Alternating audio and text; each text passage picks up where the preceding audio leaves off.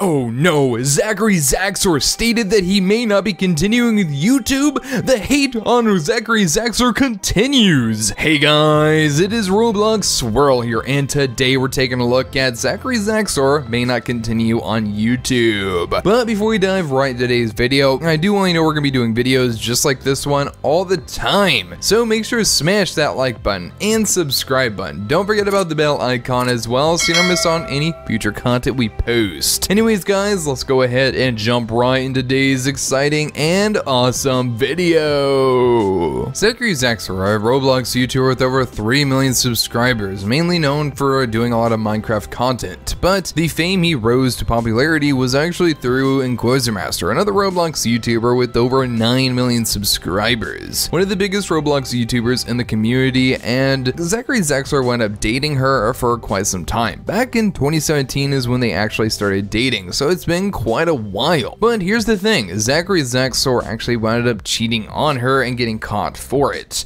On top of that, instead of cheating as well, he also was mentally abusing her and much more. The list goes on, and we know this mainly because InquisitorMaster accidentally posted a lot of this on her Instagram story, talking about the issues and troubles behind the scenes, and how she's just so tired of all the information going on, and the fact that she just doesn't know what to really do anymore, and the fact fact that it hurts that she got cheated on. And with that being said, people immediately took to Twitter, people immediately took to Zachary Zaxor's channel and started sending him death threats, hateful messages, and much more.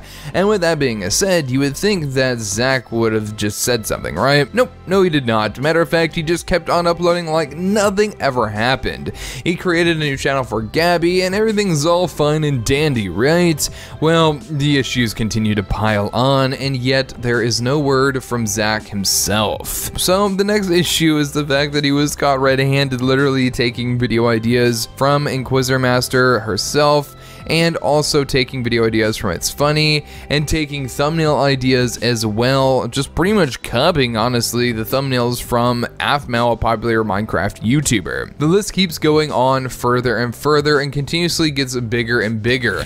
The problem rises more and more over time, and to be honest with you, it's kind of shocking. So he did respond in some comment sections about the whole allegation about him going ahead and basically taking ItsFunneh's thumbnails and well, it was pretty odd what he had to say, which we'll go ahead and read out his little comments on the YouTube video that talked about him taking video ideas. Now, it pretty much said, wanna know why we made alt accounts? It's because they have been on purposely copying our ideas and getting them out before us. Now, that is just honestly not true at all because some of these videos that ItsFunneh makes is literally weeks, and I mean weeks, before he uploads their video. Literally, I think think one video was almost a month old before he even uploaded one of his videos, so that's obviously fake. Then another comment he said they check our Roblox badges to see what we would play so they could always do this. That's why we haven't play had any piece from them. And also ItsFunneh he even said on Twitter originality is rare nowadays. Obviously hinting towards Zach just copying her videos left and right, which is just sad to say that this is all the information coming out.